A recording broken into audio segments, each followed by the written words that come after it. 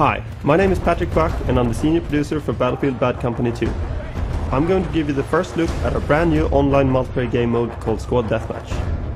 We're showing it off on a new map called Laguna Presa. What's cool and unique about Squad Deathmatch is that instead of the usual two opposing teams, you now have up to four squads of four competing against each other in a single intense match. Your squad will initially spawn in on a random point on the outer reaches of the map. This should give you time to get oriented and ready for action. When you get killed you have the choice of either starting again at a random spawn point or choosing one of your surviving squad mates to spawn on and get straight back into battle. Cooperative squad play is key. It's important to stick together and cover each other's backs.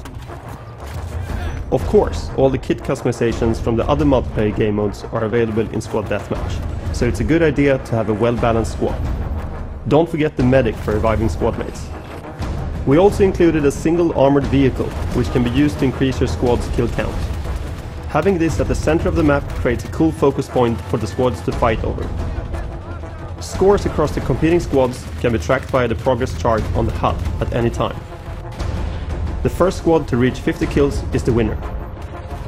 The whole experience is very fast, very frantic and a lot of fun.